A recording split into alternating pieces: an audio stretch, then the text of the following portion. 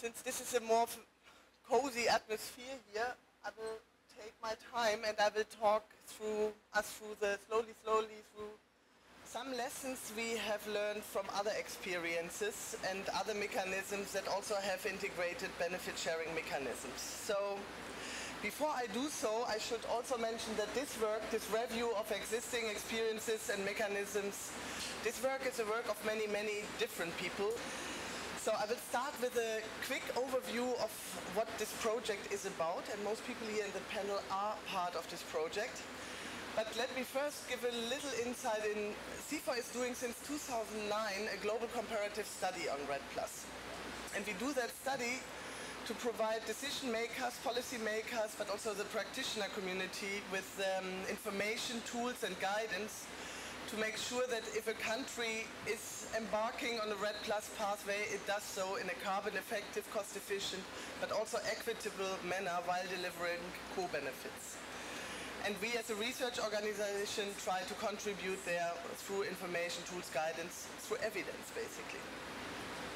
This EC-funded project Opportunities and Challenges for Benefit Sharing Mechanisms is part under this umbrella of this global comparative study and um, the main objective of this EC project is to provide REDD Plus policymakers and practitioners with policy options and guidance to improve the design and uh, the implementation of benefit sharing mechanisms.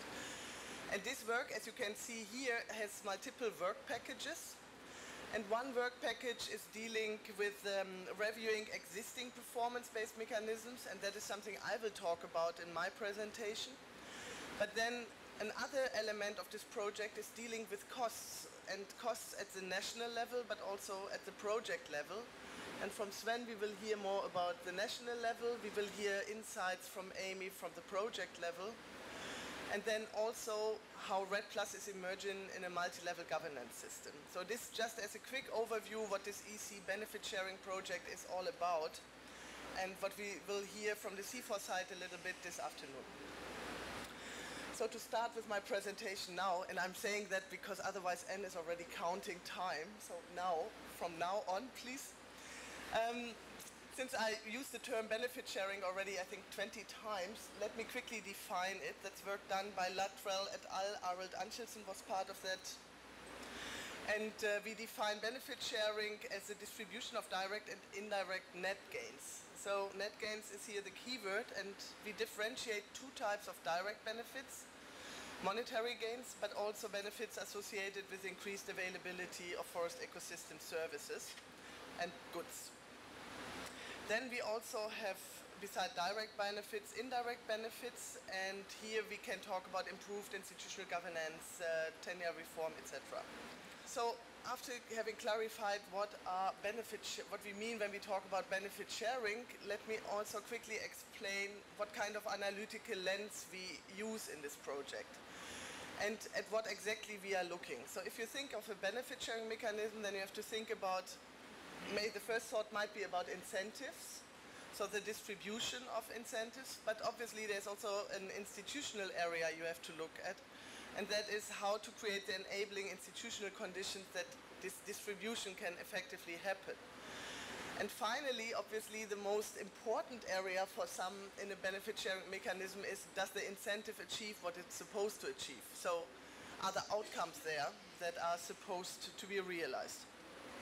So do we see, for example, the desired changes in land use decision-making behavior that we wanted to incentivize, or not we, but the benefit sharing mechanism was supposed to incentivize.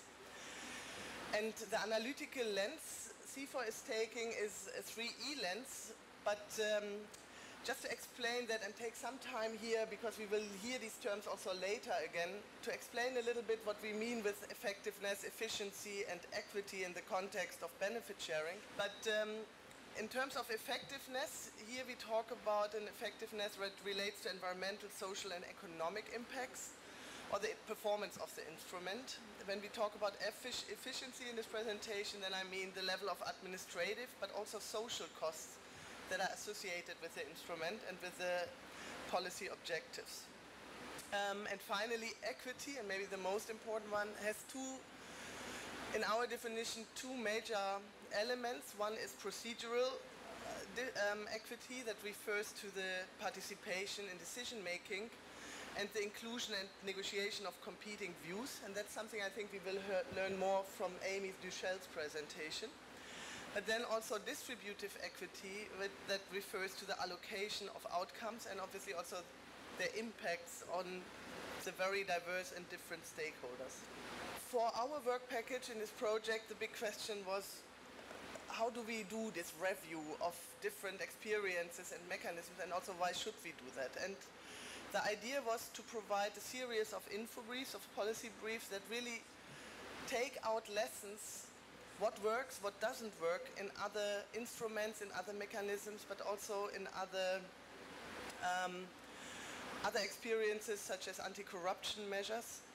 And we came up with that because all these existing benefit sharing mechanisms also tackle the same four big questions or struggle with the same things, and that is actually how to operationalize equity, how to identify target groups, etc.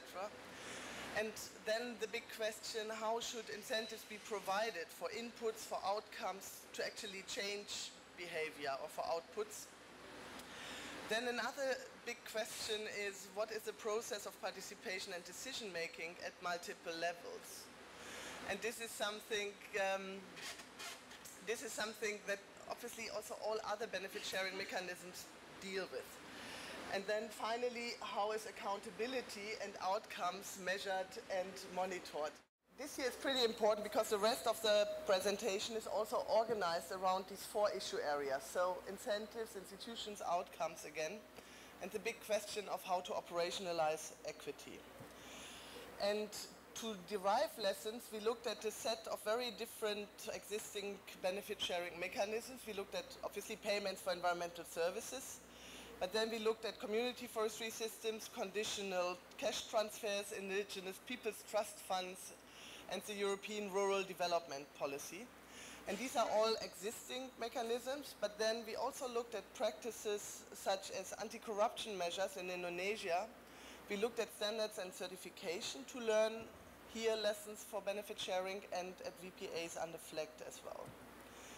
So this gives just an overview what are the seven processes, mechanisms we looked at and also what kind of lessons we took. For example, for the Indigenous Peoples Trust Fund, we looked at Paiter Suruí and Kayapó funds as an example how these trust funds function in terms of uh, anti-corruption measures, that was interesting because here we looked at the selection of oversight and transparency mechanisms. We focused on Indonesia because there we really, the, the anti-corruption measures there is very much established and so that was for us a very good moment also to actually learn for benefit sharing. And we looked also at online permit application systems, budget monitoring um, instruments, etc. So starting with the first huge area, operationalizing equity. And here we had four elements that we where we took a closer look at. And one was techniques for assessing, recognizing the level of costs, and obviously to whom they are accruing. We looked at elements that were related to setting fair and minimum payments, something we also find in Plan Vivo, um, in uh, Plan Vivo uh, projects.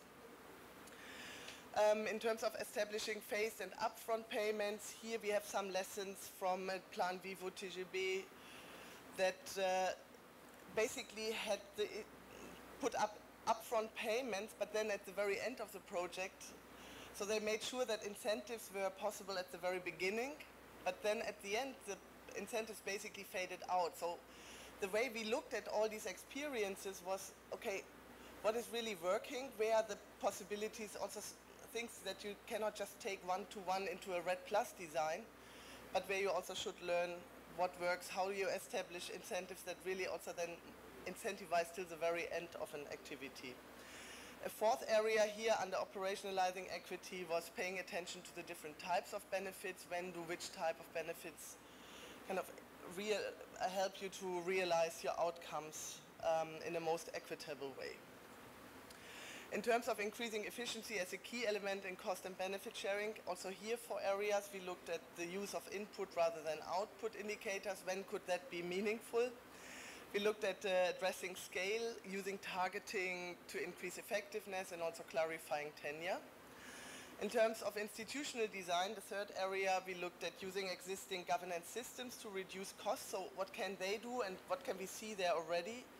How that works, um, the role of local governments in reducing or in enhancing efficiency, effectiveness. Same for intermediaries. A lot of literature is dealing with intermediaries in the, in the PES literature. And we looked at coordination. That's pretty relevant also for the anti-corruption measures and popped up there.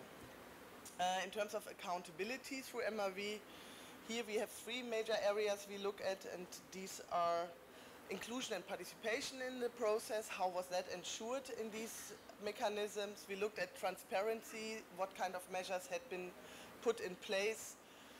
For example, and here induced by case studies from Cameroon that clearly show that money transfers never arrived at the local level and there was a total lack of transparency if payments at all were made, why, when, to whom. And another major area here to look at are dispute resolution mechanisms. So to come to an end of my presentation, two more slides to follow. This is quite a lot of information and I also have to say that I cut off so many examples. So please go and read outside the info briefs that really provide much deeper and much detailed information on what kind of elements could be really useful also for a REDD Plus mechanism. But just to summarize some key lessons for each of those seven um, mechanisms, instruments, or practices. The key lesson we found that was useful for REDD Plus in terms of PES was that it really helps to understand risks but also advantages in the, when it comes to the role of intermediaries. So again, where you have to pay attention to what kind of risks are there and intermediaries, especially in cross-scale interaction. For the community forestry, CF, there, I think the key lesson from those mechanisms is that they indicate that allocation of rights is a much more sustainable incentive in a situation where you really have difficulties to reflect true transaction costs and opportunity costs um, in, in the incentives. In terms of cash, uh, conditional cash transfers, there, the key lesson for us for a REDD Plus mechanism is that cash may be more effective than in-kind transfers. And that is something the REDD Plus policy arena is really firmly believing.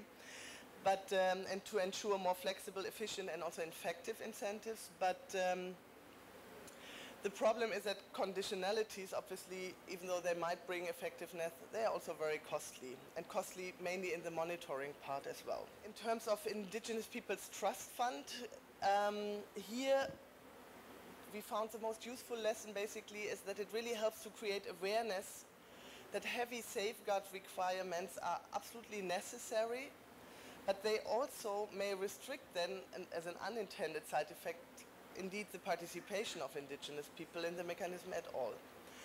In terms of the rural development policies, that's a kind of interesting example, maybe even for the European Union, because this is the European rural development policy.